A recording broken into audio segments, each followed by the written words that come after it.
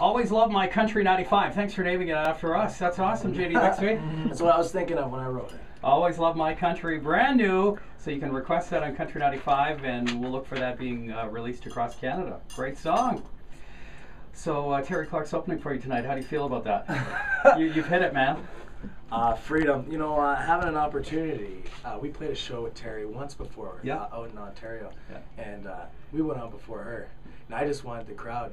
I wanted the crowd to be uh, pumped up and given give her an opportunity to like like us. Right. Because you know I grew up watching her on CMT and stuff, and uh, now.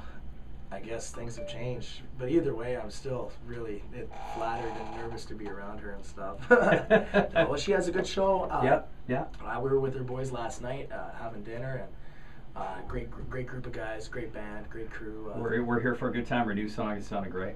Yeah. And you're going to play your new song tonight. We'll look forward to you on the stage. live. And you're on at the 11 o'clock?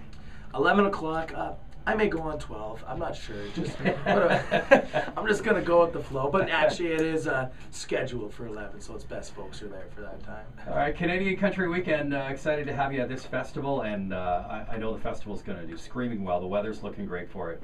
It's an honor to be here for the first year. Hopefully, come back for many more. All right, you come back anytime to Country 95. Good luck with your new song. 1151, Your Country, Country 95.5. Jaydee Bixby at Canadian Country Weekend tonight. All right. Awesome. Nice work. Cool.